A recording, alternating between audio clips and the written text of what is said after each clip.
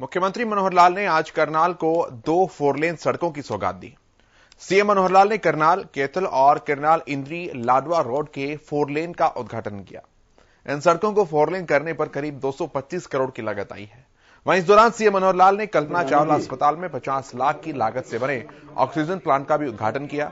इस दौरान सीएम मनोहर लाल ने कहा कि दोनों सड़कों के फोर लेन होने से आम जनता को काफ़ी फ़ायदा होगा। वहीं हांसी में किसानों की तरफ़ से लगाए गए पक्के मोर्चे पर सीएम ने कहा कि दबाव में सरकार कोई कार्रवाई नहीं करेगी। उन्होंने कहा कि लोकतांत्रिक सरकार में इस तरह से फैसले नहीं लिए जाते। उन्होंने कहा, कानून अपना काम करेगा और जो भी दोषी होगा उसके खिलाफ कार्रवाई होगी। वहीं किसान आंदोलन के चलते बंद रास्तों को खोलने की अपील करते हुए सीएम ने कहा कि किसानों से पहले भी बातचीत हुई है और आगे भी होगी।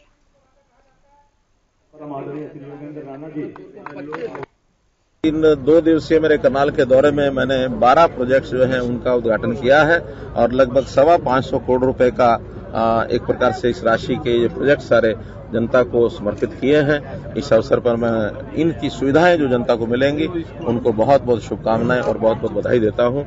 और इसी प्रकार से विकास के कार्य न केवल करनाल में, बल्कि पूरे प्रदेश में चल रहे हैं और प्रदेश में जहाँ भी मैं जाता हूँ, वहाँ ये सारे कार्यक्रम उद्घाटन के मेरे द्वारा किए जाते हैं। मैंने कल कहा है, कानून अपना काम करेगा।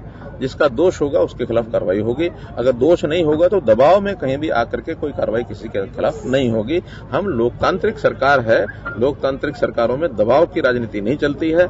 इस दबाव के कारण से सरकार का कोई भी निर्णय नहीं बदला जाएगा। देखिए, कोर्ट के आदेश है। कोर्ट में भी केस चल रहा है। हमने फिर भी उनके साथ मीटिंग्स की है दो तीन बार। और उस मीटिंग में से दोनों साइड में पाँच फुट का रास्ता खोलने की सहमति बनी है।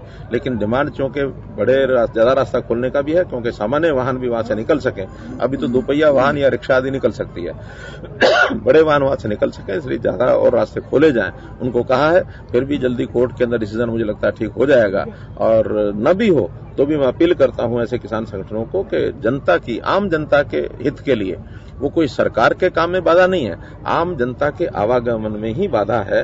जनता को तकलीफें न दें, ऐसा मेरे उससे आग्रह करता जो अभी तक मुआवजा दस हज़ार और बारह हज़ार रुपए की राशि थी। अब वो साढ़े बारह और पंद्रह हज़ार अर्थात पच्चीस परसेंट की बढ़ोतरी की है और इसके नीचे भी जो कम मुआवजा यानी कम नुकसान होता है, उसके जो मुआवजों की दरें हैं, उनको भी सबको पच्चीस परसेंट बढ़ा दिया गया है। तो पच्चीस परसेंट की एक अच्छी राशि किसान को और ज़्यादा लाभ हो इसलिए किया गया है। ग्राम पंचायतों के चुनाव, थोड़ा कोर्ट के अंदर एक विषय अटका हुआ है।